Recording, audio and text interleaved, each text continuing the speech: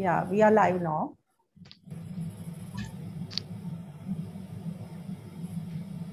Started with the session? No, na?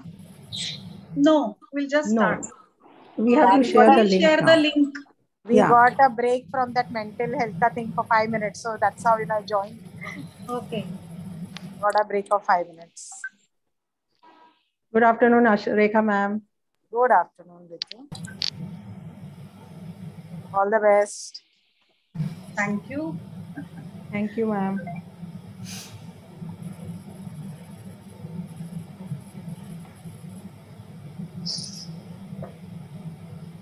Okay, the link has been shared with the group members. Okay. We have one minute. Yeah.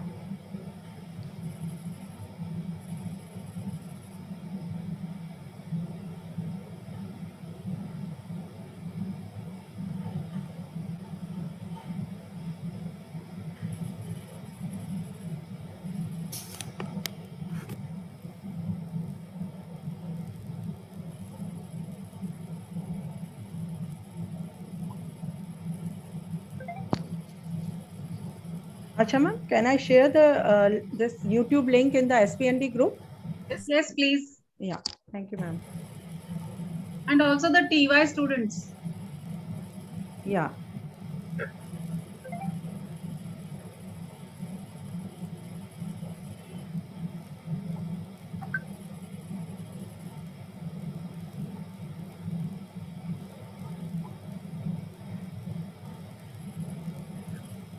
All of them, they are in this group, webinar group. Okay. Uh, shall we start, Asha ma'am? Yes, please go ahead.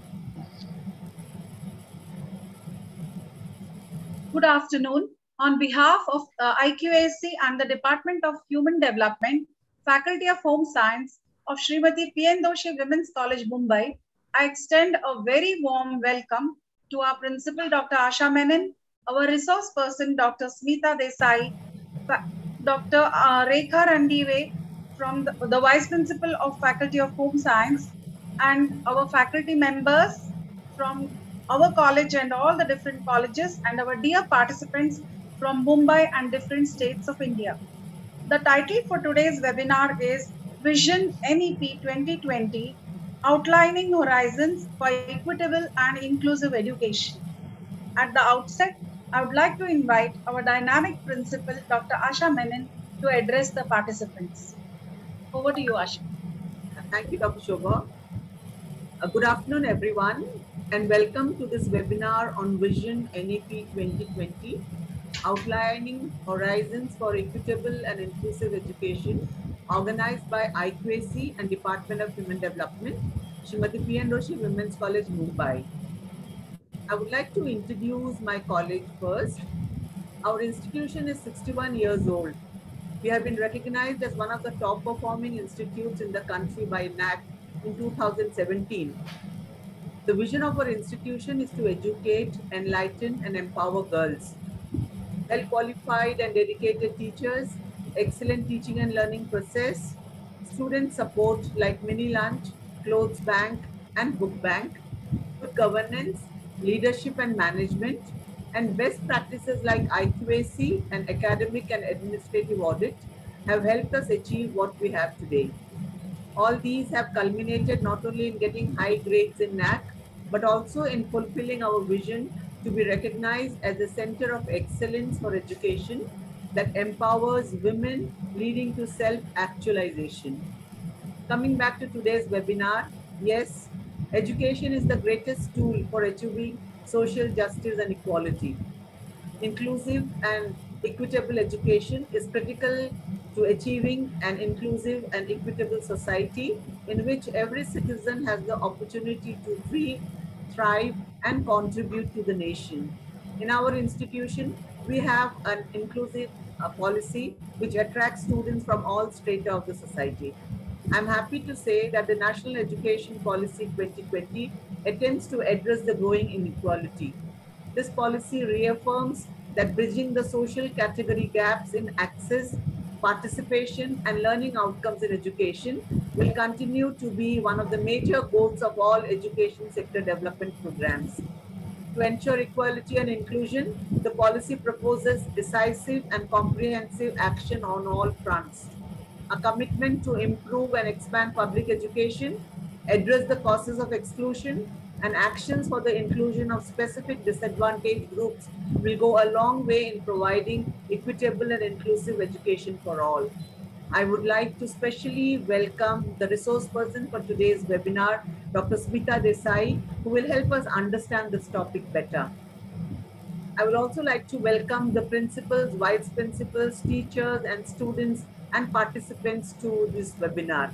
I'm happy to see such an overwhelming response from the participants. I am told there are more than 400 participants in this webinar from seven different states of our country. Wishing the webinar the very best and I congratulate the IQAC team and the Department of Human Development for organizing such a relevant webinar. Thank you. Over to Dr. Shobha Bharat for further proceedings. Thank you, ma'am. I would now like to invite Dr. Ritu Bhatia to give the concept note of the webinar. Over to you. Ritu. Thank you, Dr. Shobha Bharat. Thank you, Principal Ma'am, for your kind words. Good afternoon, each and everyone present here on this bright Thursday afternoon here at Mumbai. I, Dr. Ritu Bhatia, on behalf of IQAC and Department of Human Development of Srimati P.N. Doshi Women's College, is happy to welcome all the dignitaries and participants for national level webinar on topic Vision NEP 2020 outlining horizons for equitable and inclusive education. Education needs a greater focus on accessibility, equity, and quality. National education policy aims to ensure equity and inclusion in and through education by addressing all forms of exclusion, disparity, and inequality. In educations, assess participation, retention, completion, and also in learning outcomes. The latest educational National Education Policy 2020 attempts to address the growing inequality and inequity which is upsetting country's education system today. The policy recognizes children with special needs and believes in incorporating them into the mainstream education systems. It broadly aligns with the objectives of the Rights of Persons with Disability Act 2016. NEP also aims to recruit special educators in all school complexes to make sure that teaching is more inclusive and cognizant of the needs of special needs children. It has also proposed that children with benchmark disabilities will be allowed to opt for homeschooling and would be provided with skilled homeschooling educators.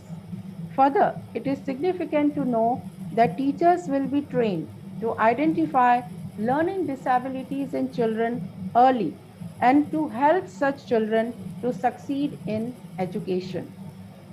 NEP also proposes that National Assessment Center, PARAKH, will be formulated to create equitable systems of assessment for children with learning disabilities. NAP recommends to set up special educational zones to region with significant population belonging to socio-economically disadvantaged groups. NEP 2020 also recognizes that certain groups are grossly underrepresented in the existing educational systems to specifically address their educational needs. The NEP has clubbed gender identities, socio-cultural identities, geographical identities, all sorts of disability and socio-economic conditions to create this kind of setup. To keep all this in mind, we had planned this webinar on Vision NEP 2020. We wish to inform everyone present here that the Human Development Department of Srimati P.N. Doshi Women's College has papers on special needs children at both BSc and BA level. With the aim to understand more on the NEP policy framework on special needs individual, we had decided to plan national level webinar. With this, we wish to develop an analytical perception in students and others, other stakeholders about NEP with reference to various disabilities. We are sure that this would help us to develop better understanding about how we who are in the human development area and other professions could contribute in implementing NEP by making a conducive and inclusive environment for children with disabilities at our centers, schools, colleges, and at university. I am happy to say that we have got huge registration from students, faculties, professionals working in the field of special education and others for this webinar. As Principal Ma'am has already mentioned that we have got participation from different states of India. So we are very happy to welcome each and everyone for today's webinar.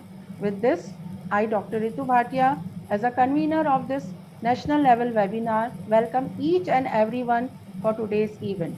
I wish that all the participants who are attending today's webinar may develop better insight into NEP 2020 and also we can motivate the girls, the young students, the young minds to work for special needs children. Thanks all of you. Welcome all of you. Over to Dr. Shobha Bharat. Thank you, Ritu.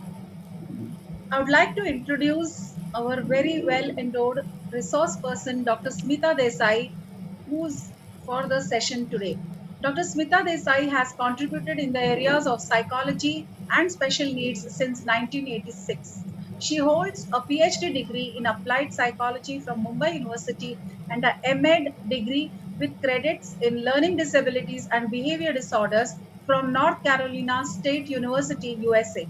She is the founder director of Drishti, an organization in Mumbai since 1994, and it was also set up uh, in Bangalore since 2014. Drishti is an organization working in the space of psychology, special needs, and inclusion since 1994.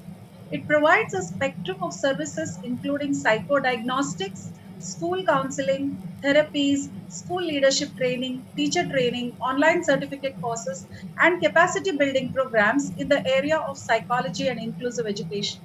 Drishti has demonstrated accomplishment in the spheres of mental health, inclusion, and education management for 30 plus years. Dr. Desai is currently engaged in leadership training for school principals, teacher training programs for inclusion, trauma counseling for individuals and schools, parent awareness, and school enrichment program, programs. She is presently on the board of studies of Sophia College for Women and Srimati Maniben MP Shah Women's College, Mumbai. She represents Drishti on Health Consortium Committee, IIT Mumbai. Gender equality, human rights, and the inclusion of women and persons with disabilities in education, workspaces, sports, and politics are of are areas of deep interest and engagement. She has conducted leadership and teacher training programs in the area of inclusion for more than 100 educational institutions across India and UAE. She is the lead faculty on, in the online certification training programs and workshops conducted by Drishti Pan India. Thank you so much, ma'am, for sparing your valuable time and joining us today. Now the floor is all yours. Thank you so much. Thank you. Thank you, everyone. Um, Dr. Shobha for inviting me and all the other dignitaries. Thank you so much. It's absolutely a pleasure and an honor to be here. And thank you for the wonderful introduction also. Um, it's really very satisfying to know that we have so many participants online and um, I do hope that there are some good takeaway messages for um, you know for this very very I think important topic to us as you know society as a whole. And um, yes, I do hope that you know we we can um, give to our future generation of citizens um, the very important you know aspects of inclusion, understanding diversity, and how each one of them can contribute to this particular aspect of growth. Yeah. So, um, Dr. Shobha, while I while I take um, you know a couple of minutes to share screen and load my um, you know load my presentation on, uh, participants a very warm welcome, and I am going to ask you to do a little bit and get yourself prepped for this um, session. So, you know, I just want you to grab maybe a newspaper or a magazine or something that is lying around you in the house. Keep that with you and just keep a pen with you. All right, a pen and a blank sheet of paper or a lined sheet of paper. I'm going to give you a minute or so just to quickly do that while I load my presentation. Okay, so our um, our interaction today is not going to be a one-way interaction. I don't believe in that. Um, it is going to be both ways. Yes because that's the only way i know that you can take away something which is of use. I can't you know you probably will get less bored that way. Um, so while i'm loading this on get yourself a newspaper or a magazine a sheet of paper that you can write on and a pencil or a pen right? In the meantime let me load my presentation. Dr shobha yeah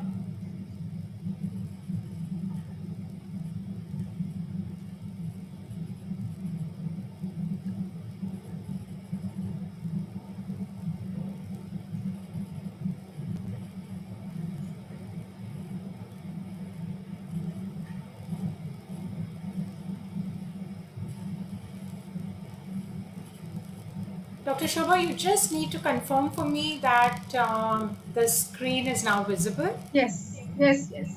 Yes? Okay. Thank you so much. Yeah.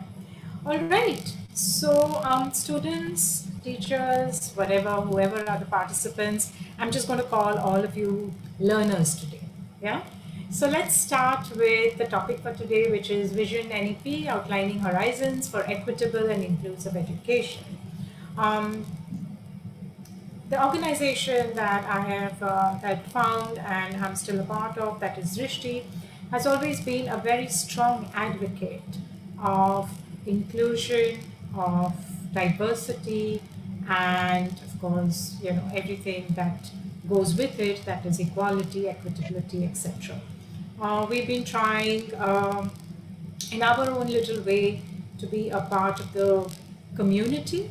Um, and to do that, we have you know, been a part of the school community because I strongly believe that if we want to make any long term change in society, um, we must begin when children are very young. Okay? And so, a good place to be able to make or to begin such a change will be in schools, right? And what schools allow you to do is they allow you to reach out to a large number of people, which are not just children, but all stakeholders. So it could be teachers, it would be parents, it would be school authorities, it would be school administrators, all of them, right? And you as students are probably going to be a part um, in the workforce, in the schools, higher education colleges, universities, probably at some point of your career. So, going forward with the mindset of inclusion is a very good place to start off with, right? So, Um, Dr. Desai, I'm sorry to interrupt, but there is some disturbance uh, from not not on my side. end, Dr. Shobha. Not at your end. No, this is somewhere else. Ah, Okay. Someone okay, else I'm is sorry. not on mute. Yeah. Okay, I'm sorry. Okay, all right. So, um, what I'm going to do is, um, first, let me share the agenda for you with you today. Okay. So the agenda is four point. All right, and that is let us get to understand what is diversity, equity, and inclusion. Okay. Before that, right, we're talking about the national education policy. And it would be a good idea if you haven't gone through, you know, like a summary of it. I don't expect you to go through the whole thing. It's it's a lot, right? But I mean, if you can, and you know, probably cover it over a period of days, that's great. But I would say locate a summary, right? And you would get an idea about what are all the different components, and therefore also, you know, where does inclusive education fit into it, right? So what I have done is for today's session, what I'm trying to do is to be able to engage you, okay, in an understanding of what is inclusion, um, how is it going to be a part of this policy, and more than anything, how are you, as I would say, foot soldiers on the ground, um, how are you going to execute this? How are you going to help? Um, you know, how are you going to enable educational institutions to be able to make themselves more inclusive, more equitable? So this, these are the four points basically that I'm going to be talking to you about, right? Some, some of the points will be more expansive, some will be less expansive, and I've tried to add in a few activities here. So the first point is let's understand what's diversity, equity, and inclusion, what is nowadays known as DEI. And then what are equitable classrooms, what do they look like, right? And then what is inclusive education? And last and final, we come to then putting together all these fundamentals so that you understand what is equitable and inclusive education within the framework of the NEP. Dr. Ritu also gave you some pointers and I'm going to be able to expand on that. Okay, so let's get going. Okay, so I'm going to start off first with an activity. All right, and what I need you to do is, um, you know, have a look at this. Okay, and I want you to just think how are these three pictures same and different, right? So that's my, that's the first reflection that I want you to do. How are these three pictures same and different? You might have seen these on the net or you might have seen these somewhere. That's fine, okay? The activity we are going to do is what's important. So what's same and different? And second thing, what might be three captions that you therefore give these three pictures, right? Let's assume that the first picture is of those three boxes and each of the students standing on one box. That is picture one. Picture two is with the multiple boxes and picture three is with no boxes. Okay, so I first want you to reflect to yourself what is same and different between these pictures. But what I want you to be able to put in chat is captions for picture one, picture two, picture three. So the way you put it in chat is one, what is your caption? Two, what is your caption? Three, what is your caption? I don't want to caption more than a couple of words or three words at the most, a word or a phrase, right? And I repeat, picture one is with the three boxes where all the students are standing on a box. Picture two is with the multiple boxes, which is in the middle. And picture three is students standing on no boxes, right? So, um, why don't I give you uh, about 30 seconds and then you can start using the chat. Yeah. And I'll be looking out for you in chat.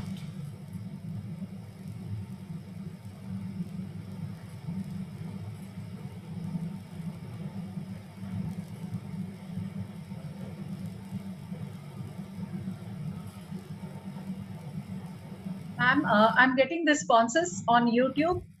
May I please read them out to you? Okay. Uh, so we have uh, Sana Anis who says Okay. that the middle picture uh, represents equity. Okay, so you know what? Just give me, uh, just give it, uh, Shobha, just give it a minute. Yeah. Uh, because I'm also looking at the chat. Okay. Okay. Let stuff come on the chat, uh, Dr. Shobha, and then I'll take it from you. Yeah, Actually, like- most of the participants, ma'am, are uh, watching this webinar on YouTube. YouTube. Okay, so then can we just give it a little bit of time, like yes, know, so yes. that everyone can kind of you know have a little bit of thinking space. Yes, and maybe once you get a little more, then you can you can tell me, yeah.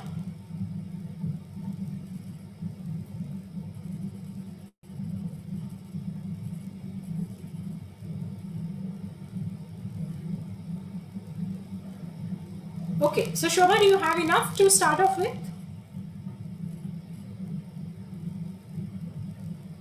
Sorry, I forgot I was on mute.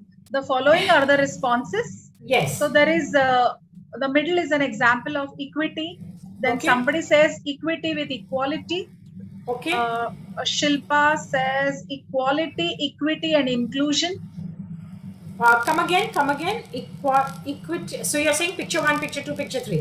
Yes, equality, equity, and inclusion. Then we have uh, Mariposa who is saying picture one is equality, picture two is equity, and three is freedom and inclusivity.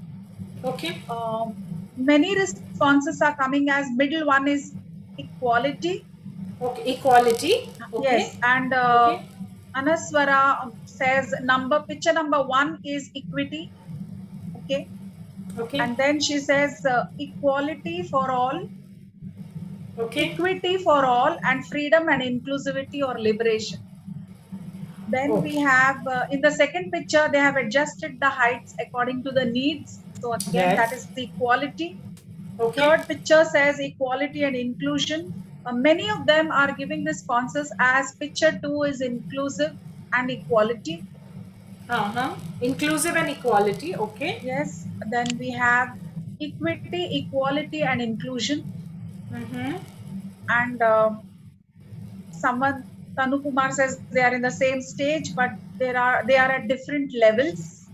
Okay. And many many responses as to second one is equality. Equality. Yes. Okay. Okay. Thank you so much for helping out, Dr. Shobha. That really, I mean, kind of put away my need to be, you know, going through chat and, you know, all of that, right? Thank you so much. So, from what I hear, um, Dr. Shobha, if I'm not mistaken, what you've said is that a lot of people have given the second picture, the middle picture, as as talking about equality, right? Uh, of course, there are some who've said equality is the first picture, equity is the second, um, freedom, etc., etc., is the third, right? Okay, so let's look at let's look at you know what does what does research tell us and what are the different concepts, so to say, right? So just to clarify, okay, and that's where that's where the concepts, you know, understanding of the concepts comes in, right? So the first picture, which some of them said was equality, is what it is. Um, why? Okay, it's important because a lot of people have said the middle picture is equality, right?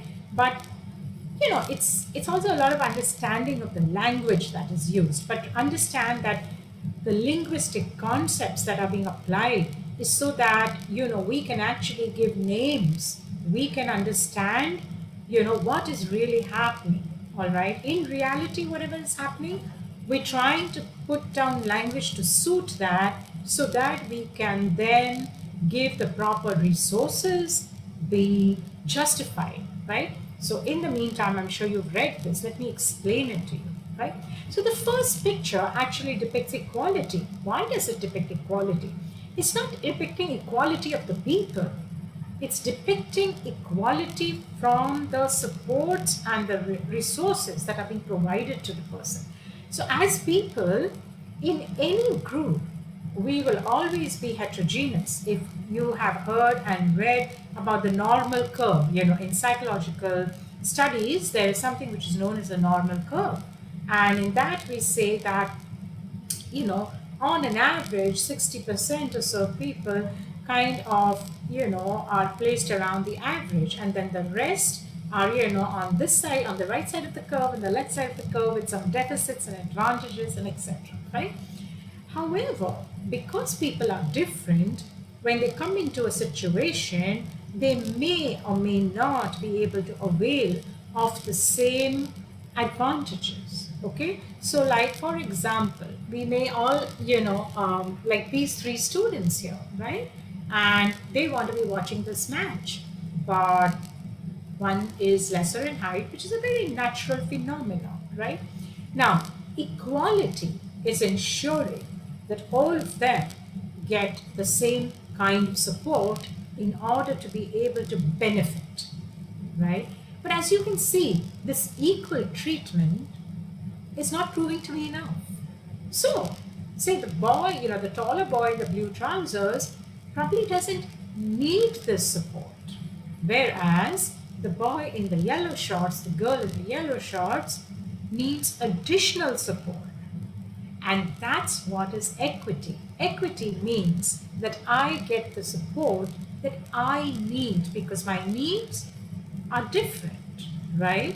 But if A, B, and C have to avail of the same benefits, then they will need the help and the assistance and the support that is customized for them, right? Like, for example, very simple.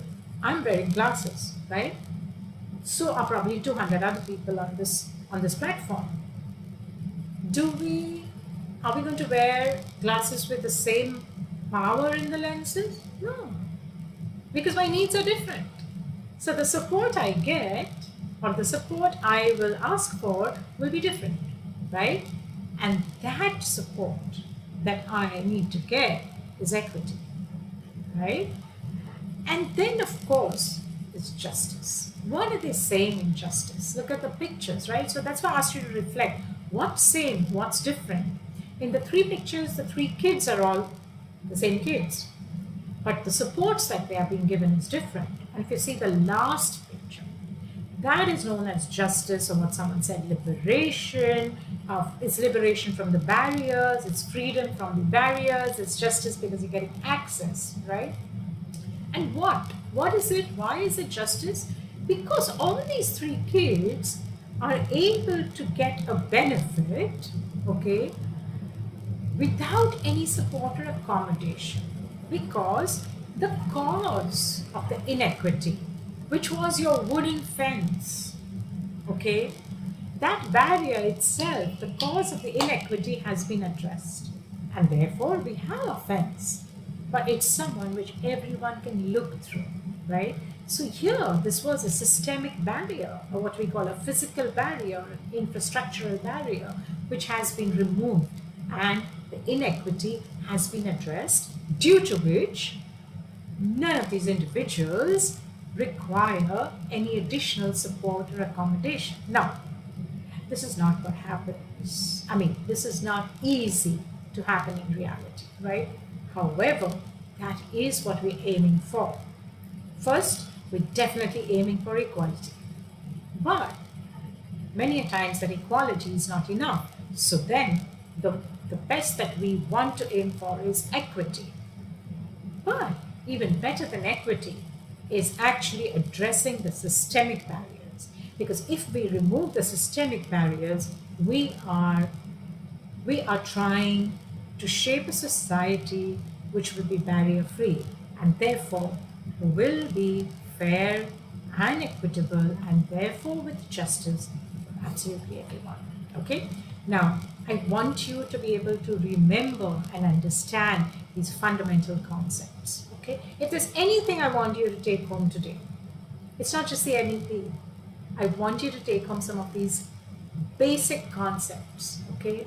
What they are, what differentiates them, so that tomorrow, when you're walking on the road and you see people, you know, from different disadvantaged groups facing certain barriers, you should be able to recognize is there, first of all, equality? Then is there equity?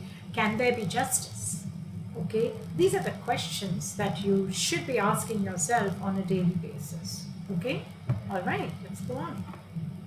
So, before we move any further, I'm going to do a quick read over of the definitions of you know, this put together uh, concept of DEI. And DEI stands for diversity, equity, and inclusion. So diversity means understanding that each individual, that is you, me, and everyone else is unique and recognizing their individual differences. I'm going to add one more word here. And that is not only recognizing the individual differences. I think diversity is about accepting differences. Okay. And yesterday, in fact, I was uh, on a program on school mental health on Instagram Live, and um, with the host, you know, who had invited me, um, that's what we were talking about. We were talking about diversity, and diversity is not just of gender and socioeconomic status and race and geography and language and religion. No, there is diversity of thought of wants, of needs, just between two people living in a house, between family members living in a house. And therefore, what is our tolerance threshold for this diversity is what is important. Okay.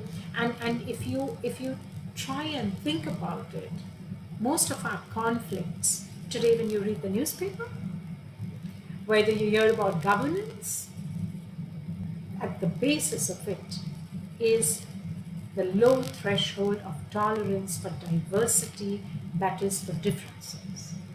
If, as a global society, we can respect each other's differences and through that respect accept it, then I think we are on the right path. Okay, yeah. Okay, so um, next is equity. Okay, um, equity in education, for example, is achieved when students are all treated the same and have access to similar resources. Okay, that's one part of it. That's equality, right? But equity is achieved when all students receive the resources they need so that they can graduate prepared for success after high school. I mean, you're all you're all students in college, right? How are you going to graduate? Are you all prepared for the next pathway that you're going to take? Has your college, your educational institution provided you resources which in a way has equalized the benefits that you can get, right? That's equity, okay? And inclusion. Inclusion is, you know, inclusion, inclusive education is now seen uh, from a human rights lens, okay? Um, that means it is a universal human right? So the aim of inclusion is to embrace all people irrespective of race, gender, ability, disability, medical, whatever, right? So together, when you put DEI together, um, you know, in this diversity is often perceived to be about perspective, representation, some tough conversation, and supportive of inclusion, inclusion of diversity, basically. Inclusion prompts answers about creating environments which are conducive to feedback, supporting diversity, and being open. If we talk about being equitable, we're talking about being fair, same, etc. Now, for example, okay, um, I mean, I don't know, I, I think I may be having mostly a large number of women on this platform today, right? And as you know, you know, when when women get married and get into a new family and a new household, there are a lot of changes that come about in our lives. And one of the first things that we strive is, um, you know, in our marital relationship, um, that there, there should be equality, right? We we want it, we would like to expect it, and we want that equality. But we are different genders, and therefore our biological systems, our psychological systems, our socio-cultural systems are really different, right? Um, and so, shouldn't we be asking for a more equitable relationship rather than just an equal relationship? Because an equal relationship can be so between two people who are more or less equal, right? But I mean, how many of us are equal? So I strongly believe that we should aim for equity, yeah, uh, because I feel equity is then fairness, sameness, valuing diversity and inclusion, right? So, like I said, these are things that I want you to go back home, reflect upon it, and all these are concepts which are not there only in the NEP. They're not there only for us to study education and psychology. It's there to be applied in daily life. Okay, and when you start applying it in daily life is when you're going to be able to help yourself and help others, right? So there can be diversity of people and perspectives. There can be equity in policy, practice, and position. There can be inclusion via power, voice, and organizational culture. And of course, justice with equal rights and equitable opportunities, right? So I do want you to go home understanding all these different concepts. Right? Okay. So once we do that is when we can start, you know, once we understand what's diversity, equality, equity, inclusion, justice, etc., is when we can start putting it into action. Okay? Before we go into equitable classrooms, um, do we have equitable homes? Right? Because I believe every thought process, every conversation, every dialogue begins at home. Right? And if that's not happening at home, um, it's going to be a little difficult to start it in the classroom, right? But still, I'm never too late. So, you know, classrooms is also somewhere we, it's finally a community. It's a collaborative community, and therefore, you know, that's also where it can start. But do, you know, do put that question down for yourself. Um, uh, is my home equitable? Does it support equality? Does it support equity? Um, what's what's the gender balance like? Is it powered? Is it gendered at home? What is it like? Okay, because those are the thought processes. Those is you know those are the cultural orientations that we're going to take into our classrooms. So I want you to do a little um, a little activity. Um, Dr. Shobha, will you also be able to help me on the feedback on this? Yes, yes, definitely. Yes, thank you, thank you. Okay, so people, let me start with this little activity. Um, what I want you to do is, I want you all to close your eyes, but I don't want you to fall asleep, okay? Uh, we just have a little time left. So what I want you to do is, I want you to close your eyes, and I want you to think, if you're students, okay, how do you like your classroom to be? How do you like your professor, your teacher to be? What would you like the teaching to be like? Okay. You can put down a few few points in the chat, and Dr. Shobha will probably help me out with that, right? So, Yes. what are your needs as a student? How do you how would you like your classroom to be? How would you like your professor to be? What do you want your teaching to be like? You know, by what do you want your teaching by pedagogy? I mean, you know, do you like, would you like it to be narratives? Would you like to be videos? Do you want to be doing some journal and blog reading? You know, would you like to have some field trips? Hopefully, now that this pandemic is, we're not going into another third and fourth wave. You know, what, what would you want it to be like, right? So, you can just put down a few thoughts on chat for me.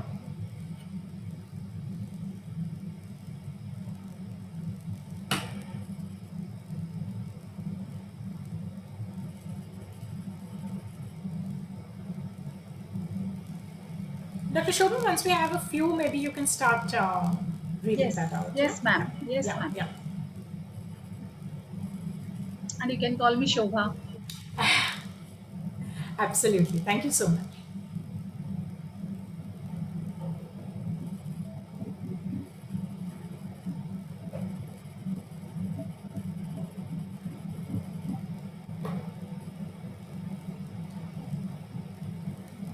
So, have you got anything?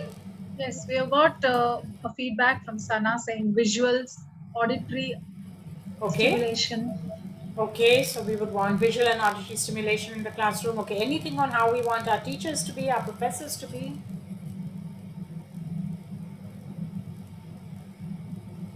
Somebody says, uh, Sana herself says assignments.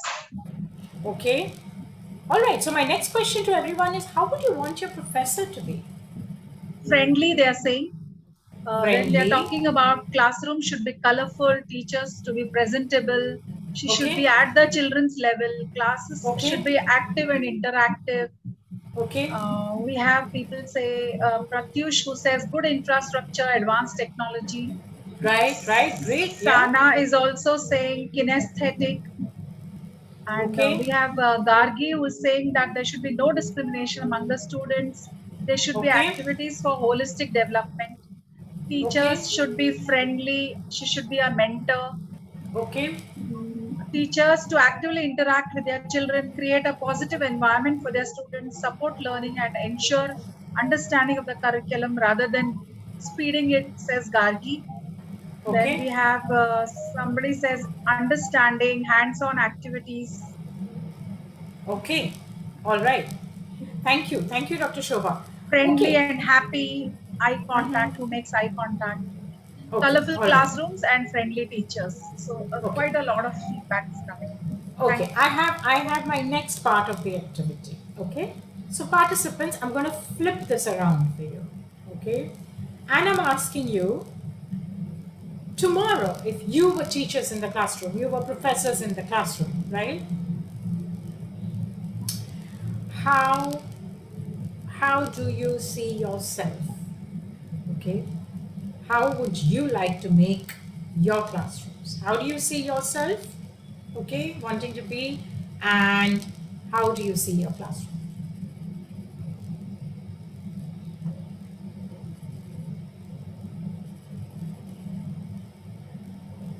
When you are a professor or a teacher in the classroom, how do you see this?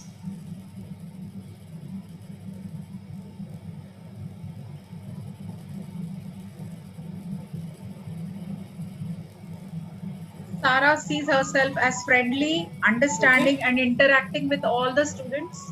Okay, Sana says she'll be open to teamwork. all right.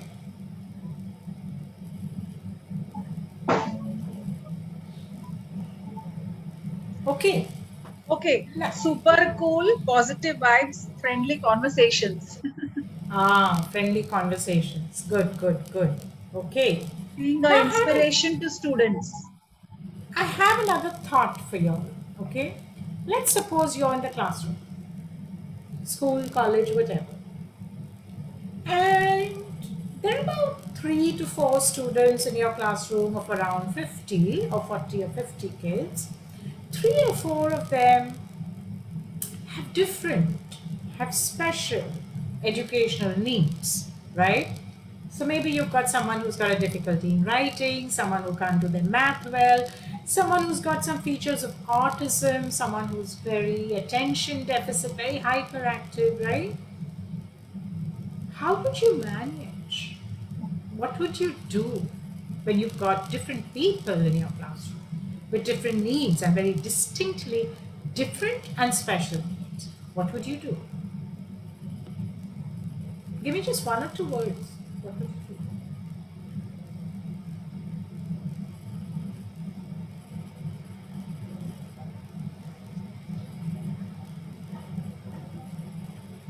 Think of all the things which you said you'd do, right? You'd be friendly, you'd be interactive, you'd be caring, you would be justifiable. Come on, take take your cues from there. Give individual attention and guidance. Okay? Fantastic, fantastic. Then what else? Friendly and encouraging. Encouraging. Approachable. Okay. uh, Lata says uh, that she will make them uh, keep them close to her. Okay. Uh, first, Damini says first she will understand them. Mm-hmm. Personal assistance, uh, being patient, grouping Okay. them according to their level of learning. Yes. Provide support, material resources required by them, and ensure that the rest of my class also understands and supports their classmate. Right. Right. Right. empathetic, individual attention, patience, approachable. Those are all the Okay. responses. So I, I like I like what someone said about not only am I going to try and understand and work with the child, but I also try and make sure that those around me, those around the child in the classroom, would also be there to support this child, right? And I think that's the mindset of developing an inclusive community. Okay, uh, because the NEP amongst the other laws and whatever, whatever, also puts forth as to how it is now going to be mandatory to mainstream all children. That means give them the opportunity to attend regular schools. And if we have to do that, then we're going to have to create inclusive communities, which, no matter what, how many schools say they are inclusive, believe me, you, they're not really inclusive. You go to so many, so many schools. if you want to do a litmus test of inclusivity, okay, you simply go and stand outside the front entrance of the school. And there's one thing you need to look for, and that is does the school have a ramp? Okay, a ramp. A ramp is just like stairs, you have that slope, right? The slope is something, the slope and the railings with it is something that is required for individuals who may be in a wheelchair, whatever. That is your first marker. Just as you stand outside an institution, people can say whatever they want about inclusion, okay? Being, being inclusive and whatever, whatever. This is your litmus test. You go, you see a building, you see a school, you see a college, and if you see the ramp there, then you've got hope. But if you don't, then there may be a lot of other things that we're talking about, but some of the basic fundamentals is not. Okay, so these are some of the things that again I need you to reflect upon. There are no easy answers, and there is no no ready-made solutions, right? We've got to find them ourselves, right? So, like it says here, you know, um, the biggest mistake of past centuries in teaching has been to treat all children as if they were variants of the same individual, and thus to feel justified in teaching them the same subjects in the same ways. Okay, and these are words of Howard Gardner, who you know is the father of the theory of multiple intelligences in psychology, right? And um, you know, little graphic cartoon over there which says that you know um, for a fair selection, everybody has to take the same exam and climb that tree, right? But that is what we're doing, right? When you actually see it out there, how you have all these animals, including the elephant and the goldfish and whatever, climb the tree, but that's what we're expecting in our schools, in our institutions of higher education. We have almost the same examination and we're expecting everyone to take it in the same way. Now it's when we start bringing in modifications, etc., etc., is when we are, you know, making it equitable. Now, for example, when we talk just about equality, right? We're giving the same paper to everyone as equality. Is that fair? Is that justifiable? It's not, right? So equality is understood and it's good in, you know, for a, for a number of things, but after a point, it doesn't serve the purpose you have to move to a more equitable system. Okay, yeah. Okay, so I have a question here for you. What is an equitable classroom? Okay, what do you understand as being an equitable classroom? So, what I'd like you to do is, I don't want you to give me a statement. I just want you to put down maybe one word or a phrase of three words or two words, which in your mind tells you, you know, if I'm asking a question, what is an equitable classroom? You will say this, this, this, or just this makes an equitable classroom, right? So let me get some words from you. Dr. Shobha, uh, if you'll help me, please. Yes, yes, most definitely. So what is an equitable classroom? Give me some, give me some words to answer this question. One word, three word phrases. Don't give me anything more. Damini says safe. Safe, okay.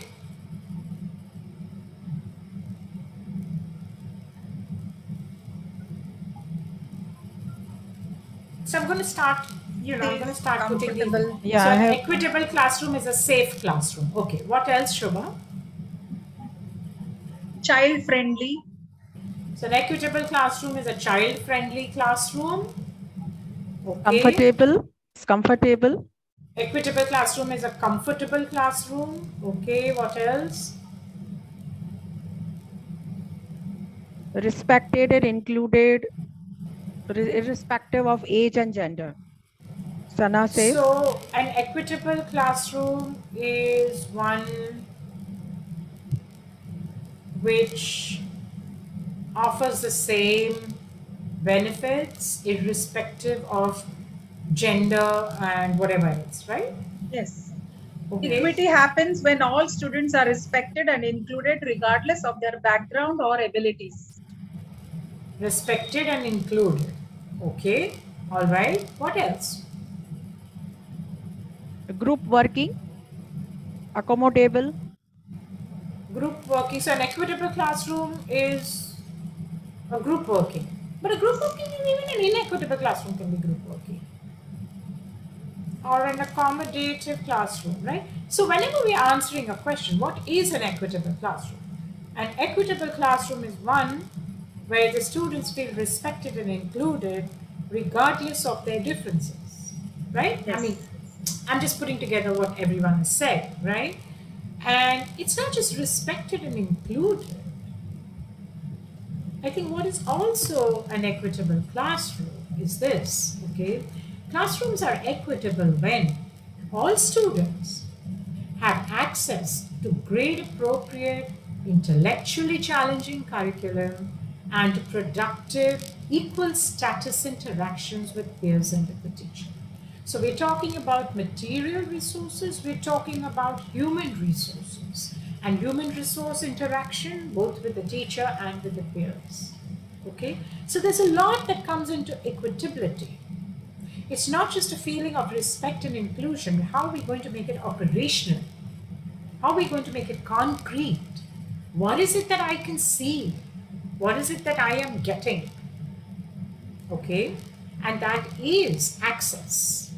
One of the biggest words in terms of inclusion is access. Access to everything. All children must have access to grade appropriate material, to challenging curriculum, to be productive, to equal status interactions with their own peers, with the children, with the teachers. It should not be that because I have a disability or I have a learning issue that I should be considered or given less opportunities than another child who has no disabilities. Okay? Because at least I must be given fair opportunity. How I perform will depend on my individualized abilities. But at least I must have access to opportunity. Okay? And that is something that the system is responsible Okay, that's a systemic responsibility. Yeah. Second, classrooms are equitable when students and teachers recognize different intellectual abilities and they define intelligence as being flexible, incremental, and multidimensional. And that's what Howard Gardner's multiple intelligence is all about. The different types of intelligences, right? And then you have the fluid and the crystallized intelligence. And this can be flexible. This can move up and down. This can apply itself differently in different situations, right? And uh, students and teachers need to recognize that. Also, all students in equitable classrooms have multiple opportunities and varied ways to demonstrate their intellectual competence and way of being smart in the subject, right? So I don't know if you've heard of this, is things like uh, the universal design of learning, differentiated instruction. These are different frameworks of education, frameworks of instruction. And these allow for multiple opportunities. These allow for various ways to demonstrate. Okay? And last, classrooms are equitable when the distribution of achievement measures is narrowed and clustered around an acceptable mean. Okay? That means what do we mean by that? Okay? Distribution of achievement measures. So, you know, how, what are we using to assess the? What are we understanding from the outcomes? and this needs to you know go come as close to the uh, you know kind of get everyone as close as possible together right? So our means of assessment needs to be such a way that it's possible for everyone to do this assessment right? It should not be impossible for someone to do it. And that's how we need to come close to it right so these are some of the some very important characteristics of an equitable and inclusive classroom one and the most important, accessibility to the instructor. So I remember one of the participants saying, as a teacher, I will keep children close to me. Yes. So in a physical manner, that's what it is, right? So the instructor needs to be physically and cognitively and mentally and psychologically accessible to the children, right? There needs to be a flexible and inclusive syllabi. What do we mean by flexible? we mean that there are children across the spectrum, right? So you've, I mean, spectrum of intelligence, spectrum of abilities. So you have children with disabilities, and then you've got those really intelligent children, you know, cognitively intelligent children. And sometimes they also find classrooms challenging because they don't have something which is suitable to their really sharp, you know, working minds, right? So we've got to have syllabus which is flexible, which can go either ways, and also which is inclusive. We need to have classrooms which can foster a diversity viewpoint, a foster diversity viewpoint and mindset. Not just accept, not just say, okay, we've got five different people, different abilities, different languages, okay, we're accepting them and putting them together. No. We're saying foster a diversity mindset, right? All right, there's something same, something is different. How can we make things interesting, challenging? How can we treat this diversity as capital? Okay, how can we capitalize on this diversity and make it a better environment for everyone? That is fostering a diversity mindset. Okay, facilitate discussions where all students can participate. So you might have students with a visual impairment, with a hearing impairment, with a motor impairment. How are you going to, what are you going to do so that all students can participate, right? Those are the things that are required. You honor the differences and the similarities, and then you know have some guidelines which are you know what we call the ground rules, right? Um, it's an interesting fact given by research that when teachers set ground rules for the classroom, they should do it on day two of the when the new term starts. The first day, spend enough time building rapport, and the next day you got your ground rules down so that you don't have different people behaving in all different ways, which can be disrespectful, undignified, etc. Right? So you want to have dignity, you want to have human rights, you want to have respect in your classroom, right? Because you, as a teacher, is responsible for growing citizens, right? Next, access. And access, again, active, uh, you know, it's an access, accessibility, again, access to quality education, technology, teaching. Again, one of the participants spoke about technology, and that's going to be such an important part of education. Already is, right? Provision of a variety of ways to respond, that means as a teacher, and practicing what we preach, right? So there's an entire course on differentiated instruction as a framework that we at Drishti are offering on you know, our online education platform. We have an online education platform known as Prabhav. Okay, if you get onto the internet, prabhav.education, and we offer, you know, these short-term certification courses. We're also offering toolkits. Uh, we have a certification course um, on differentiated instruction, right? And differentiated instruction does exactly this. It provides a variety. It it uh, it trains you as a teacher to provide a variety of ways to respond to a heterogeneous classroom. So now let's come to what do we understand by inclusive education. Okay, people get your magazines ready, your newspapers ready. We're going to do an activity, right? The first activity is this. I want you to quickly start reading, okay? I want you to read these colors to yourself, but I don't want you to read the blue as a blue, I want you to read it in the color in which it is printed. So, not yellow, but green, not blue, but red, not orange, but blue. You get me? Okay? And I'm counting from 1 to 10 and tell me, at the end of it, you're going to tell me how many you got right. Okay, I'm starting. One, two, three, four, five, six, seven, eight, nine, ten. Stop.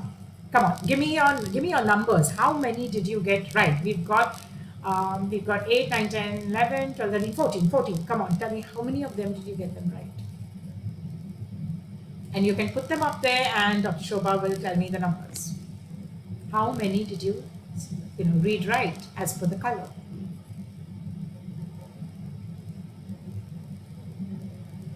Yes, they are telling me the num the names of the colors, but how many did Yeah, how many right? did they get them right?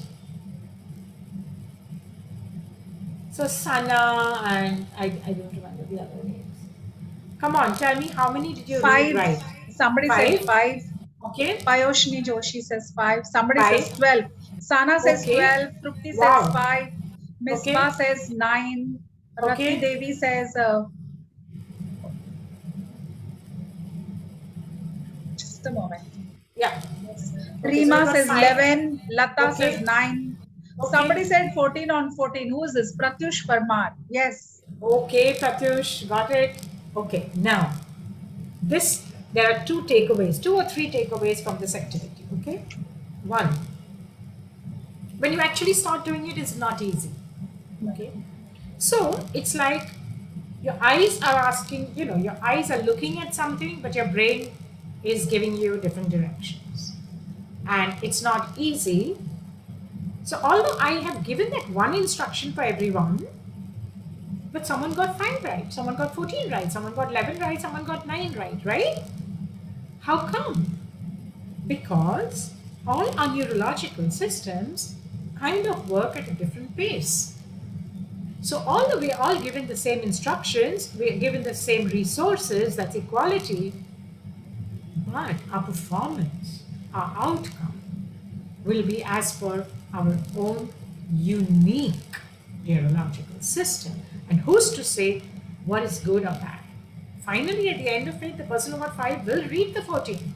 Just needs a little more time. Is that something so bad? Can we not give some extra time? Right?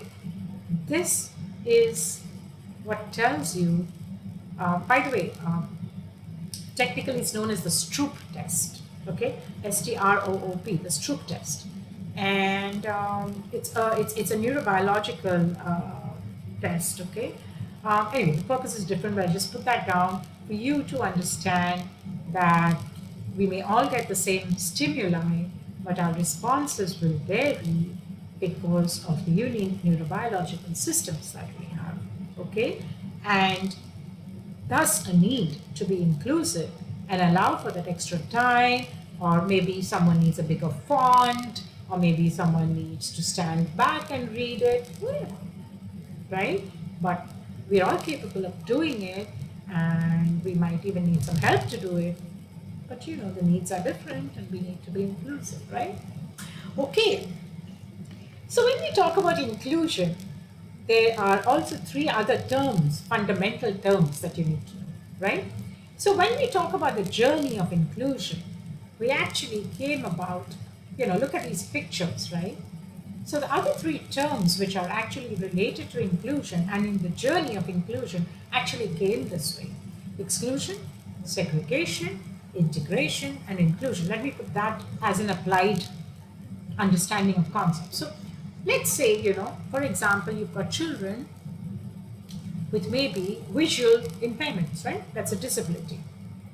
Now, earlier there would be complete exclusion, and maybe uh, in a lot of uh, you know areas which are rural areas, etc., you still have exclusion. So, for example, many of these children with cognitive disabilities, or visual disability, won't reach any school.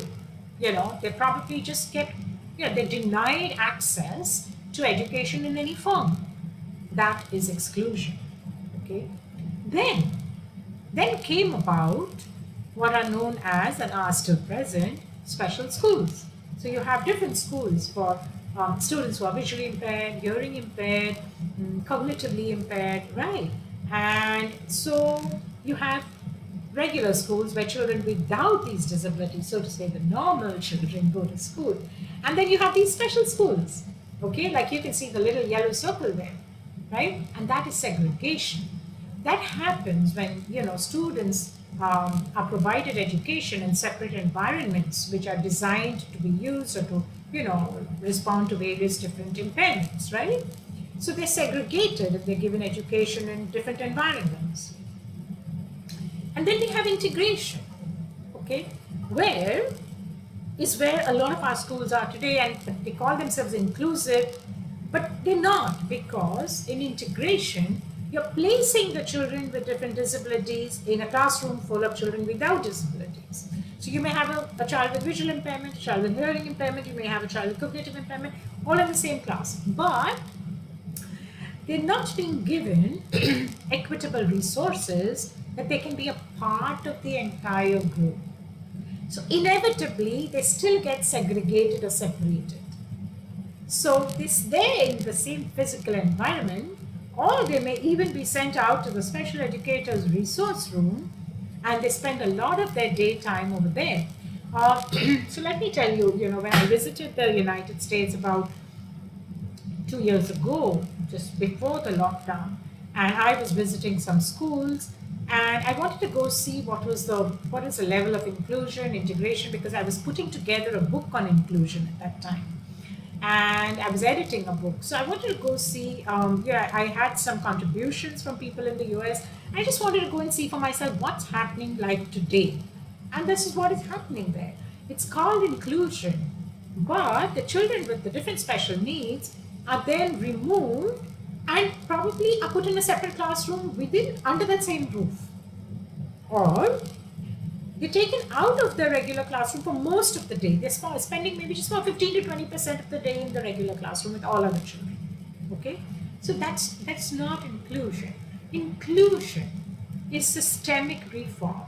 Okay, there is modifications, changes to the content, to the teaching methods, approaches, a whole lot of things that need to be done right? Curriculum, assessments, expectations, guidelines, everything needs to really kind of be reconstituted in order to give an inclusive experience to the child, right? And that is really what is inclusion, okay? Um, integration, I believe, is another, it's just a dilution of you know segregation there's still segregation happening right and when when i when i talk about special schools i understand why they've come about. I understand that they still need to be there for children who are severely impaired because otherwise the children won't get their needs satisfied. But i say as a society are we segregated? Do we have different roads different bridges different trains different buses for people with disabilities? We don't. We, we're using the same systems. We just need to make them more accessible and adaptable, right? So, inclusive education is when all students, regardless of any challenges that they may have, are placed in age-appropriate general education classes that are in their own neighborhood schools to receive high-quality instruction, interventions, and supports that enable them to meet success in their core curriculum. Core curriculum is your English, your math, maybe your history, your geography, your science, you know, all those is your core curriculum, right? And there are many, many benefits of inclusive education, right? All children are able to become a part of the community. It provides better opportunities for learning for all children. Expectations of all children are higher. Um, you know, it encourages involvement of parents in the education and more than anything, it fosters a culture of respect and belonging to everyone. And when it is in school that all children with or without disabilities learn that they are equal to each other. And if there is someone with something less can be helped, then that culture of helping, culture of responsibility begins very young. Okay. And I think that benefit goes out into society at large, right? And that's what you see. I've seen a lot of that in many of the Scandinavian countries Finland, Sweden, Iceland, Denmark. You see a lot of it in that because they inculcated very strongly in childhood, right? Okay, and these are a few things, um, you know, about inclusive education. We'll rush on a little bit because I want to take you to the NEP, right? Okay, so just to give you an idea, uh, these are all the different aspects of um, you know, the NEP, right? Um, a big part is restructuring school curriculum and pedagogy. And then, of course, 6.1 to 6.20 is equitable and inclusive education, what I'm going to jump to. So first, let's see, you know, what are the key principles of the National Education Policy? Let's go from 0, 1, right? So if you're going to see 0, 1 is respect for diversity and local context to be reflected in all curriculum, pedagogy, and policy. And 02 is equity and inclusion to become the cornerstones. 3 is community participation. 4 is use of technology. Five is emphasize conceptual understanding. Six is respect for unique capabilities. And seven is critical thinking and creativity. Eight is continuous review. I'm going to focus on the one and two. Respect for diversity and local context. And second, equity and inclusion. Now, what's of interest to us, you know, in the 6.1 to 6.20 is the fact that NEP 2020 focuses a lot on the socially and economically disadvantaged groups, what are known as the SEDGs, right? The biggest focus is on SEDGs. And what, who are these SEDGs? We'll come to that. But what are some of the, what are some of the services or the benefits that's going to be made for them? It's a gender inclusion fund, and there's a fund, so to say, for all the other SEDGs, not just gender.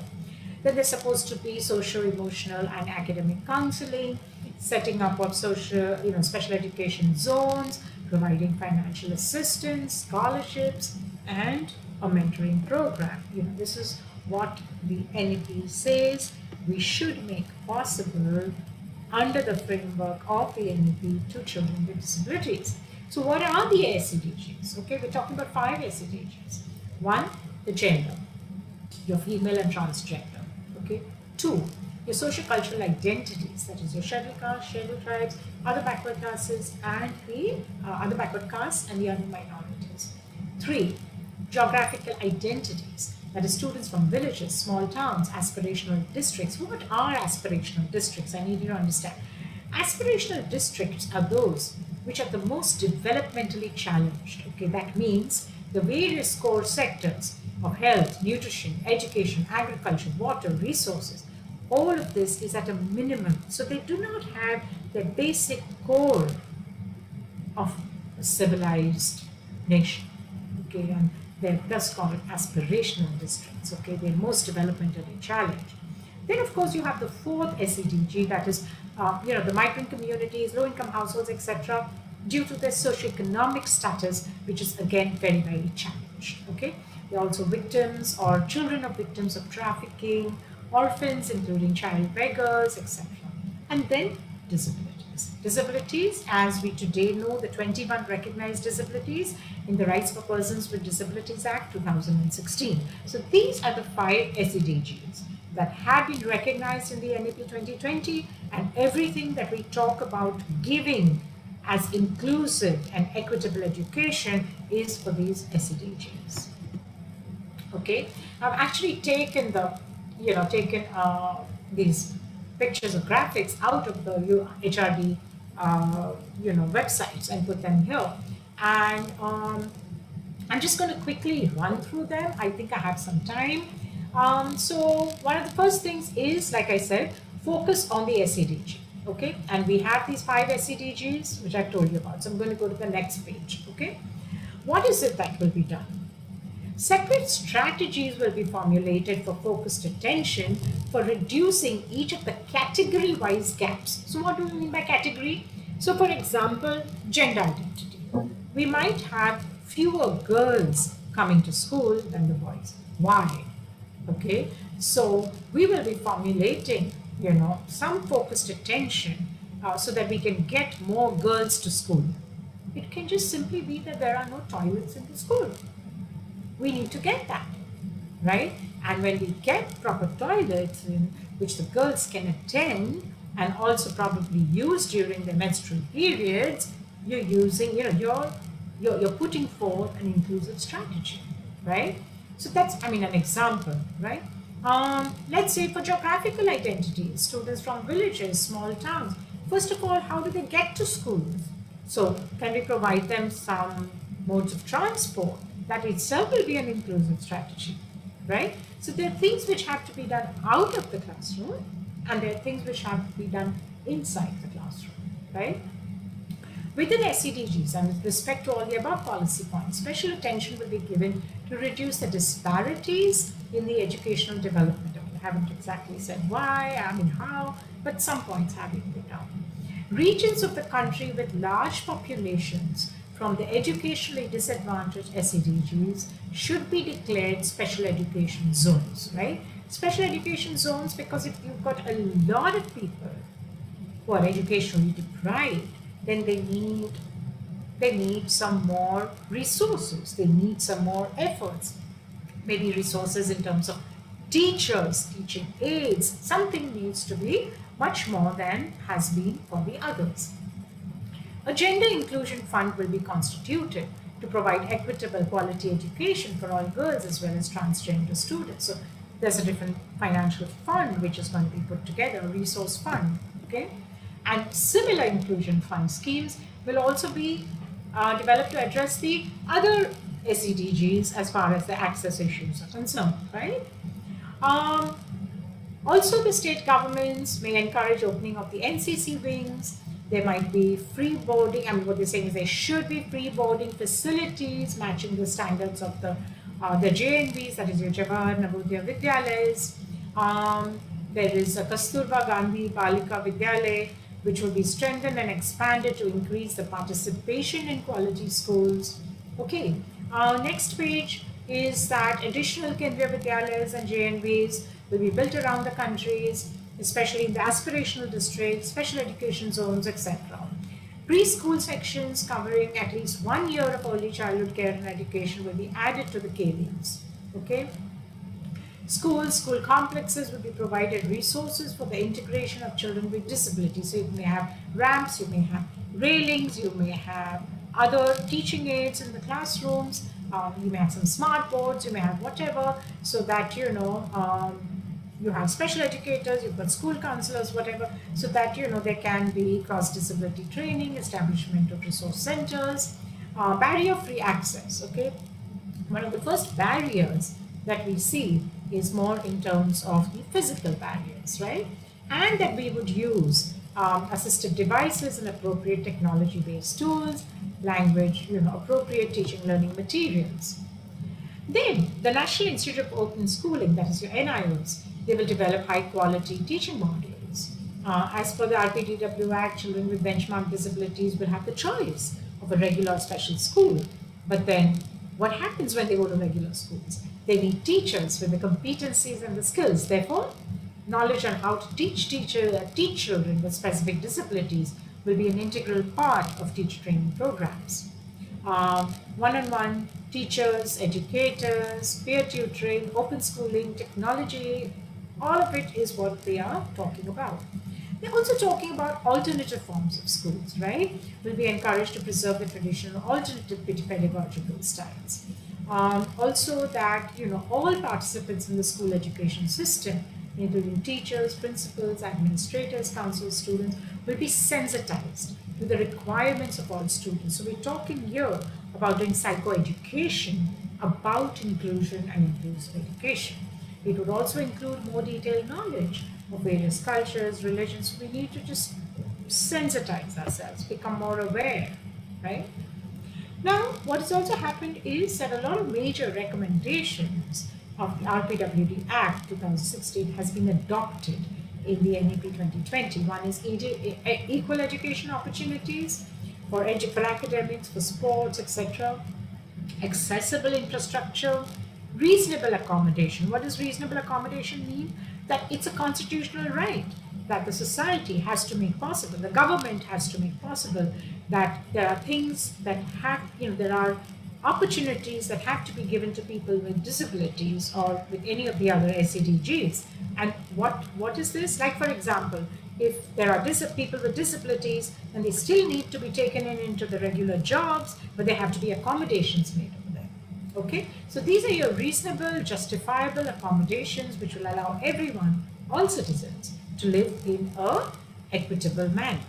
Then you've got individualized support, supportive services, um, suitable pedagogy, modifications curriculum, a scribe or a writer, exemption from, exemption from second and third languages, monitoring participation and progress, transportation. I don't know if you're aware, but one of the biggest systemic barriers to inclusion is transportation. Imagine a child in a wheelchair, etc. How is this child going to get from home to the school unless there is a transportation facility which can take him on and off his wheelchair or get his wheelchair into the bus. Have you thought about it? So transportation is seen to be one of the biggest systemic barriers to children with disabilities attending school, right? Uh, training and employing teachers with disability. So people who have a disability also need to be trained as teachers and taken, you know, taken into the fold, right?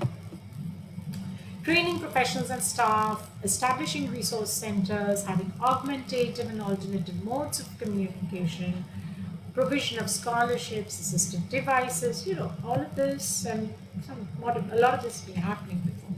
Now, what are the main barriers to inclusion?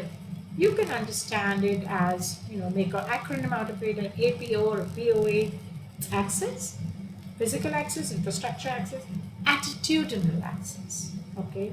Participation, there are limitations for SEDGs, okay? Like I said, maybe transportation or they can't get into the schools or whatever. And outcomes, there is a discrepancy between the expected and the acceptable learning and social outcomes. So these are some of your biggest barriers to inclusion, okay? Um, and it has to be first addressed at a systemic level. How are we going to address the barriers? Uh, Dr. Shobha, I just need five minutes more. Yeah? Sure, Um, sure, ma'am. Sure. Yeah. So how do we address these barriers? One, we build school communities. I believe that school communities can be very good communities for care. Okay? I say schools are community carers. And again, like I said before, it has to be a collaboration collaboration of all stakeholders to make the school community a community of care, right? So we need to build school communities to address the physical, infrastructure, and attitudinal barriers. Teacher training. It's the biggest, mm, you know, missing part of the puzzle. We need to get teachers trained. Then we need to adopt the universal design of learning framework. I need you to read more about this to make learning relevant and appropriate to the learner use differentiated instruction framework. I spoke to you that we is specifically offering a certificate course in differentiated instruction. Get onto our website, okay? And you will see that we are also offering this in different variants. There's something you'll finish in one hour, which is known as the Insight version. Just get a peek into it. You look into the light version, which is a little more in-depth, but you know, without too many assignments and stuff. And then you have the advanced version, where you have a lot of, you know, you have um, you have some case studies you can get to read about, you have some assignments to do, etc. Right? So get to know about this UDL, DI, and then of course we can use competency-based continuous assessment models in order to monitor and support the learning process of each learner. What are some of the challenges and opportunities? Okay. Um, mainstream schools must enable themselves to include and educate all children. The challenge here will be getting all the infrastructure in place, getting the human resource in place, getting the training in place. But what is the benefit? The benefit is that you would be able to educate all children in the local community. I mean, that's the aim of the NEP 2020, right? And this will involve providing barrier-free access. So whether it's your physical barriers, your infrastructural barriers, your systemic barriers, your attitudinal barriers, right? and um, enable acceptance of diversity. And again, here, you know, read this. Enable acceptance, not just not just recognition, not just acknowledgement, but acceptance. And the diversity can be due to poverty, disability, gender, geography, language, religion, right? And to eliminate social exclusion. You know, the um, the uh, right to uh, information has put down everything about social inclusion. How can we get all children to study together? But it's just not been executed right. So we've got fantastic blueprints, but execution is what goes haywire. And so children who should be getting into every other mainstream school are not getting right? We need to develop teacher competencies and skills for inclusive education. If we don't do that, then we do not have the right infrastructure. Yeah, we need the human resource infrastructure. We need to develop flexible and relevant curriculum. And we need to use educational frameworks to enable learning for all. What are these educational frameworks? You know, the universal design. The, um, the differentiated instruction. These are the different types of educational frameworks that are used to ensure that every child will learn in the classroom. Right? So, what are some research findings? What are some of the benefits of inclusion? One, it improves everyone's health, physical and mental. It minimizes vulnerability. There's improved learning and skill development. There's an improved rate of Um, friendships, relationships, social networks are larger. There is improved communication and improved behavior. There's greater likelihood of career and employment, obviously, because everyone's being educated together, they have better skills. More comparable life outcomes to people without a disability. So there have been studies and studies which talk about the benefits of inclusion on the people without disability. Okay, how when you also so I you know um, we run a lot of these remedial instruction programs in schools, and what we do is that we get students, so peers without disabilities, to mentor their peers with disabilities. That's one group. Second, we might have children of different ages with disabilities, and still we, you know, we we kind of have the older ones because they have developed certain competencies and skills to mentor the younger ones. So we constantly work in, you know, in these dyads, in the triads, and we get the ones who are have more competencies and skills to mentor those with lesser competencies and skills, right? And so it's a win-win situation for everyone. hmm? And uh, people with disabilities, of course, they benefit, but so do the others. And finally, the biggest thing from the research is that segregation is harmful because it is definitely not the way or the path ahead for a progressive society, right? And so with that, these are some of our references. I would like to introduce you to the book that I've edited. Uh, not just me, it's been an entire team work at Drishti.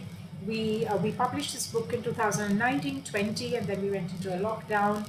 But we had a book launch in 2020, and the name of the book is Miss How and Me.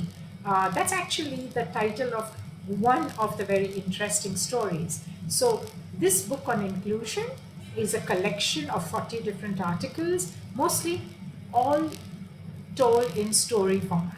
Okay, and these are stories that have come from all stakeholders, from students themselves, from parents, from teachers, from school principals, from therapists, from psychiatrists, and from government officials. So we have a contributor who is one of the directors at the Central Board of Secondary Education. We have one who is a director at the Ministry of Social Justice and Empowerment. We, I have a few contributors from the US, some from UK, and of course, you know, all across our country. And which is why it's almost like uh, it, it's, it's like a collection of case studies. And the way I put it in, what my role as, as editor has been, is not only, of course, to be able to put these all together, but at the end of every story, at the end of every article, I've analyzed the whole thing and given different pointers on what you need and what you know what you need to ask, what you need to take away, and what is it that you want to learn from this. So everything's being put down in a very standardized format. It's available on Amazon in hard copies as well as the Kindle edition. But I would recommend this, and this has been an endeavor so that we can put together stories and inclusion that's happening in our country, right? I think that's really important. It's important to recognize the efforts and the outcomes of the foot soldiers of inclusion in our country. So thank you so much for uh, you know being here, listening to me, taking your time out. Again, um, a very big thanks to all the um, all the members of PN Doshi uh, College for inviting me here today. So, um, Shobha, I'm I'm done with this, and Thank you so much, can, ma'am. We were attentive from the word go. It was wonderful session. Uh, your Thank session really provided, you know, clarity on the basic concepts, which began with equity, equality, and justice. And uh, an understanding of these concepts helped us understand the, the premise on which we should provide environments that are inclusive and just. You, Right. you, you also talked about equitable classrooms where the important elements were highlighted for effective teaching learning. Ma'am, uh, all the hands-on experiences, I mean, your activities really kept us engaged and interested Thank you. every minute. Uh, finally, the strategies highlighted in NEP for inclusion and the challenges and opportunities for uh, to be inclusive really gave us wonderful insights which we can take back with us and uh, you know we can use to create better insights for our children. And i hope uh, you know we will be able to practice this. It really was a very very wonderful session. For me also a lot of learning and uh, the ending was cherry on the cake because we definitely would like to uh, have you know get our hands on the book and i'm Thank you. personally going to get it immediately and i'm sure the principal would like to get it for our library because uh, when we learn through real life stories it Yes. becomes so much more meaningful and makes us believe in in uh, what we are practicing and will also inspire us to take actions And Dr. Shobha, this is these are stories which have actually been written by them. Then of course edited a bit and whatever, but it's not something that I have written. These are stories which are coming from these people, Yes. right? So Whether they're you so parents or whatever. So I think that would be great if you know you can get Yes, one for the library. Yes, yes, really definitely, ma'am. And we would Sure. get more copies for our students because we have two batches with many, many students. Sure. So definitely, thank you so much, ma'am. Good. Absolutely. Truly grateful Thank for you. the wonderful session. We'll now Thank move on to the much. question answer session. Over to Ritu. Uh, yes, thank you so much, uh, ma'am, for your wonderful session. We have no words. Actually, we are short of words to thank you. Thank Uh, you, Dr. Ritu. Thank you very Thank much. you. Uh, there are a few questions uh, Yeah. from the students. Uh, can I take, ma'am? Yes. Yeah. Okay, so uh, one question is like uh, Agargi Kulkarni, she wants to know like what is the uh, method of scribe because many times Okay. it is seen that this, someone is taking advantage of these children, like uh, unfair advantage uh, is being taken.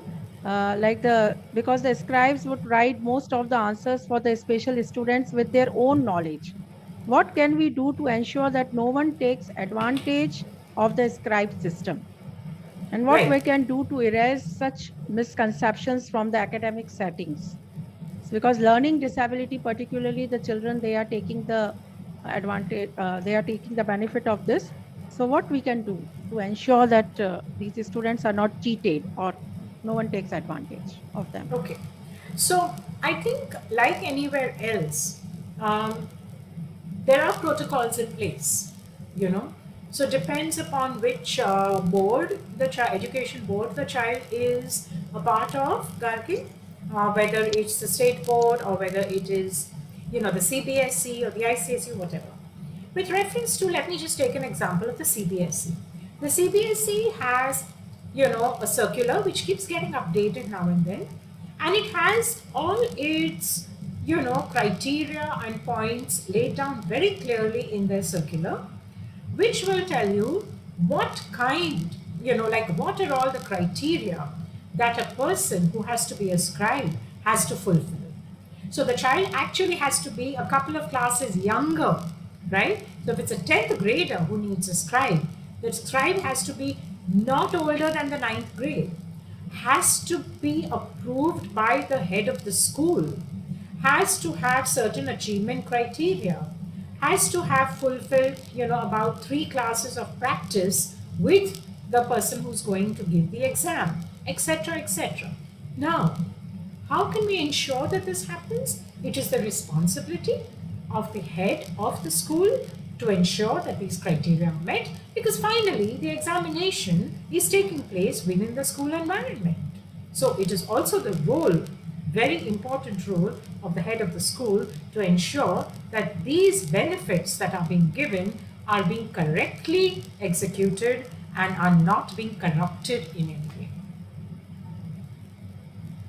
yes ma'am very rightly said by you ma'am can i take second question Yes?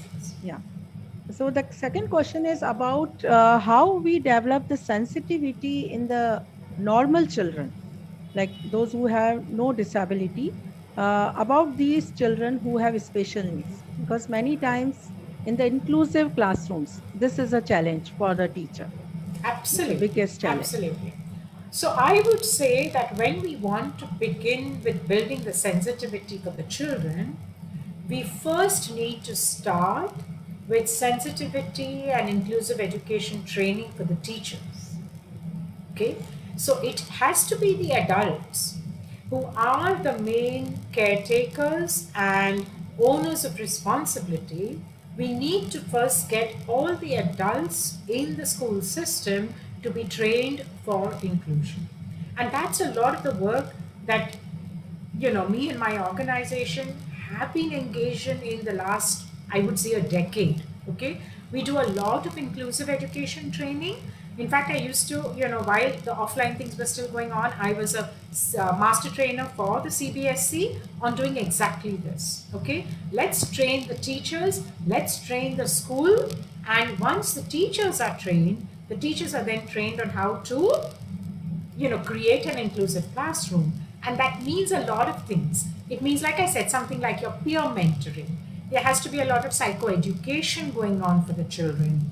It means giving them responsibility. So, just in very brief, let me tell you, one of the first schools that I worked with, which was by the name of Learners Academy in Mumbai, um, at that point, there were uh, the head of the school was Mrs. Kariwala, one of the most progressive educators I've ever met. She's, of course, no more. And that was a school where children were trained, you know, in terms of sensitivity for inclusion right from kindergarten, right? So, what would happen is children with disabilities were paired with children with no disability, and the responsibility for uh, friendship, support, everything was kind of rotated amongst all the children. So a child with disability was placed with different peers every week. Okay, so children were rotated around in the classroom, and very early on, that culture of help, friendship, and support was built up in that school. So that's just an example that you can take back. That's very important, madam, actually. Uh, the third question which we take is uh, about the gifted children like uh, we always think that inclusive classrooms are only for the people those who have some disability but what Yeah. about the gifted how you can include them in the regular classroom or what we- can we do Right, very nice question, and in fact comes in at, at that point when I'm talking about my role at Learners Academy School, where I worked as a school counselor, come special educator, all rolled into one, right? And in fact, we used to have a program there for gifted learners, okay? And these were the children who were academically very, very bright, and in fact used to find the regular classroom, you know, everything happening a little boring. So they wanted something more. And again, we would do, we would use the, you know, in a way the same methodology. Um, but we would flip it around. Where the children with disability required the support from the different children, we would use these gifted learners and train them to be mentors for the other children in the classroom, right? So they would be using the best of their cognitive abilities to support other children who may not be with just disabilities, but just other children. We would allow them not only to be mentors, but we would also allow them to address classrooms as, you know, like peer helpers, peer mentors. So they would actually take classrooms, they would teach parts of the curriculum to the classroom. Okay, that was one thing. And after school, there would be also programs for the gifted learners where there would be a lot of stimulating activities given to them whereby they could also go back home. And these stimulating activities would span across humanities, sciences, arts, music, etc. So these are some of the things that I know I've done, found it to be very, very useful and can be. thank you madam uh, there's one question like uh, still we can take uh, two or three questions right Shobha? Sure. Yes. Yeah. So, uh, yeah. So there is a question about the extracurricular activities in the inclusive classroom because ठीक है physically inclusive हो गए academically भी हमने उनको बढ़ा दिया but what about the sports what about the other activities because Right. sometimes it happens that in, in the inclusive classroom, the uh, special needs children, they feel neglected when the children are going out for sport activity. Hmm. So what about that, ma'am? Yeah. So I think first there has to be a clear conceptual understanding. Um, and you must understand that, you know, there are three terms impairment, disability, and handicap. Every impairment doesn't cause a disability. Every disability does not pose a handicap. Okay. So that means what do I mean by that? I may have a learning disability. But does that affect my performance on the football ground? No. A learning disability is affecting my performance or posing a handicap or a disadvantage in the classroom. So, who are the children? There are, you know, when, when there are children with special education needs, they may be having these special education needs only in the classroom. In fact, they may be having some of their strengths as far as the extracurriculars are concerned. So there might be those children who are very good at music, on the sports ground, in art. We need to explore what their strengths are. Now, which are the children who are going to have difficulties with the physical sports? You will have children with visual impairments. You will have children with orthopedic impairments, that's motor impairments, who are going to have difficulties on the sports grounds. And when that is so, you need to compensate by trying to find out if they're good at music, if they're good at art, and in fact compensate in that manner. Okay? On the other hand, there might be those children with motor impairments, orthopedic impairments, where only the lower limbs have been affected, but the upper limbs may be fine. So, how about finding something by which they can even play a sport with their upper hands, upper limbs, right? There might be children who have upper and lower limb disability, but they can still swim. Okay, so take them into the water. So, the most important thing is to be able to explore and understand what are their different capacities. You don't just use a disability as a blanket prognosis and say, hey, this child can't do anything. No, every child, if, if there's a functional assessment done, a functional understanding, you will see that we understand that each one of them will be able to do something on the playground, something in art, something in music. Yes, yes, ma'am. Uh, there's a last question uh, we can take that uh, the inclusion should begin from home. Uh, what are your views on that? Because many times it is seen that the parents they don't accept the reality, the fact that their child has a special need. In particularly in the large families or in extended families, the Yes. special needs children they are given a third grade treatment. They are neglected. They are not invited in the birthday parties or when even if they are invited, nobody talks to them. So how we can change this attitude? Right. How we can change this thing, ma'am? Right, right. I think everyone, you know, I, I don't know how many of this generation of college students, but if you haven't seen it, do see the movie Tare Zameen Par. It's not that, you know, oh, it's going to give us all the answers and all, but it, it did a very good job in terms of raising awareness, right? And that tells us the situation at home. Right at the beginning of my presentation, I had said that respect for diversity begins at home, right? And for that, just because, you know, to respect diversity, you don't have to have a disability. There's diversity of thought. How much can we respect this difference in opinion? I think that is what must begin at home. And if we respect that we all look different, we speak different, we sound different, and therefore our abilities may be different. It's as simple as that, you know. Difference is not bad, right? It's it is the it is the rule and the law that we are all different.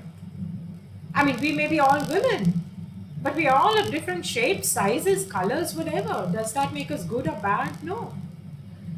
That is the mindset, you know, Dr. Ritu. It's the mindset which we need to change.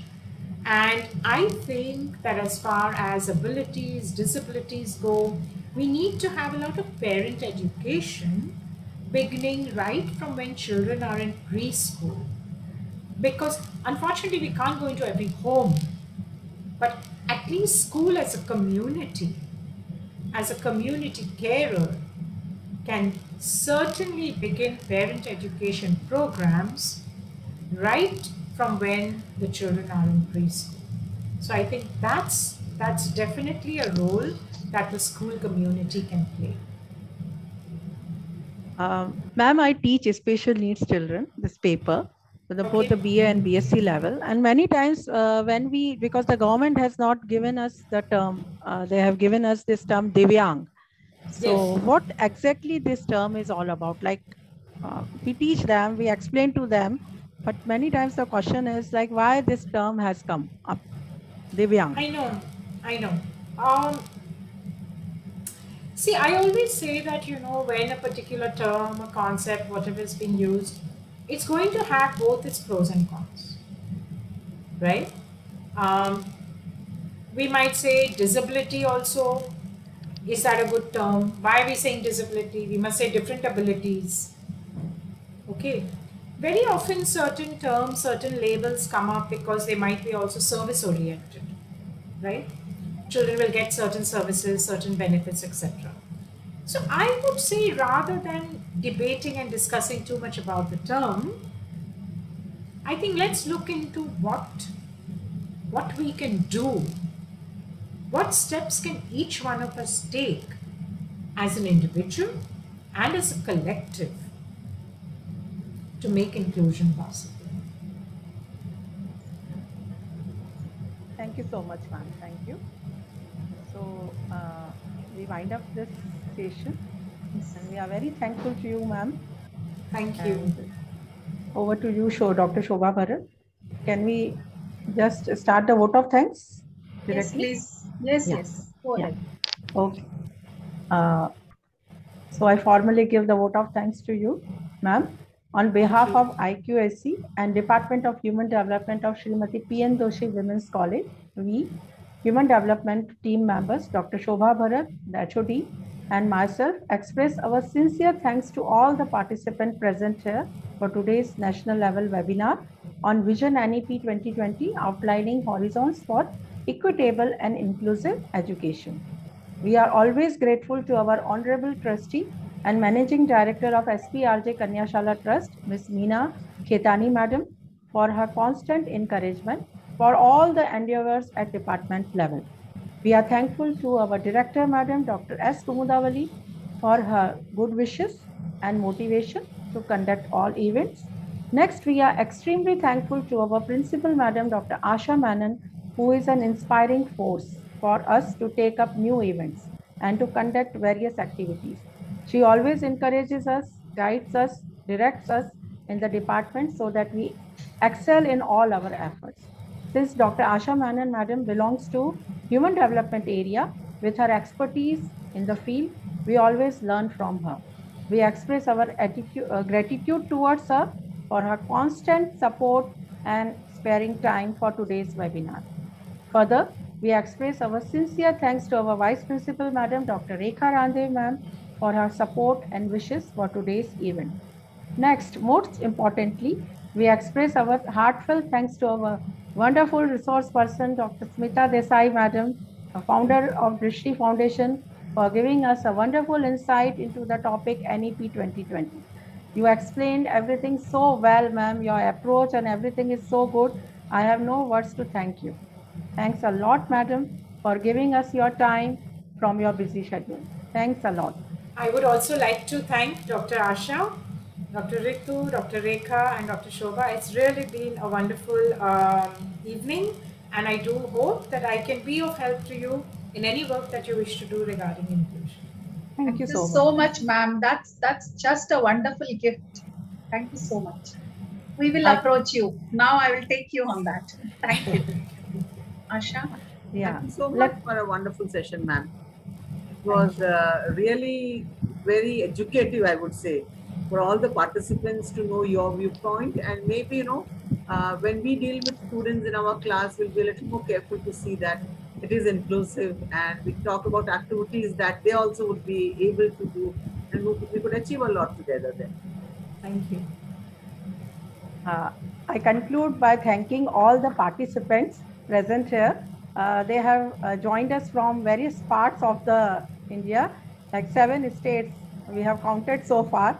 So uh, the huge participation and uh, we are thankful to the, our technical team members, Ms. Hashmat Khan for her technical support. And I don't forget the help which is given by Ms. Vishakha Bharaskar, our TY student, for designing the webinar brochure. She just passed uh, the TY and she is now uh, taking admission in some other college, but we are very thankful to you, Vishakha, for all your help. So I conclude here by expressing our gratitude to Almighty God for its smooth conduction of today's event. With this, I thanks everyone. Stay safe, stay healthy. Thank Happy you evening. and have a good evening. Bye bye. Thank Thank you you. so